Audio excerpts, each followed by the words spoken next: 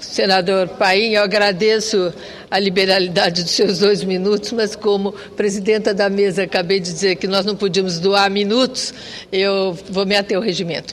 Bem, senado, sena, eh, caros senadores e senadores, é, ontem, em Manaus, a presidenta Dilma anunciou o fortalecimento da rede de prevenção, diagnóstico e tratamento do câncer.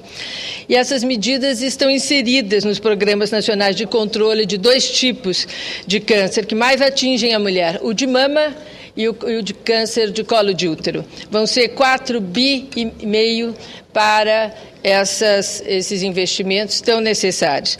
E pelas declarações da presidenta, é fácil enxergar que ela explicita uma preocupação muito especial com o tema, por ter vivido uma situação de câncer, por ser mulher, por toda a sensibilidade que tem. Eu fico muito satisfeita, muito feliz que a nossa presidenta tenha tido essa ação, porque 4 bilhões e meios para serem investidos nessa questão realmente vão fazer uma diferença. Vão ser no combate ao no controle do câncer de útero, de colo de útero, de mama, ampliação e fortalecimento da rede oncológica informação à população.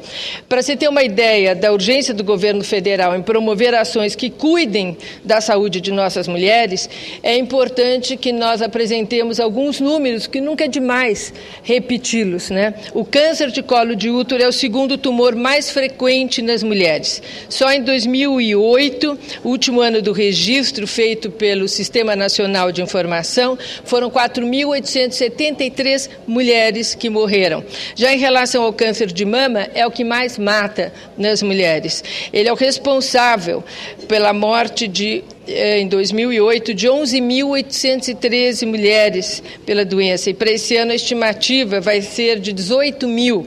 Então são dados muito fortes, mas as regiões, as capitais das regiões do norte são as mais sofridas. Lá nós temos mais que o dobro da média nacional. Então eu quero dizer à presidenta que foi um gesto muito, muito de sensibilidade ter ido deslanchar esse programa, investir, falar desse novo investimento na saúde da mulher em Manaus, porque... Senadora... É, pois não?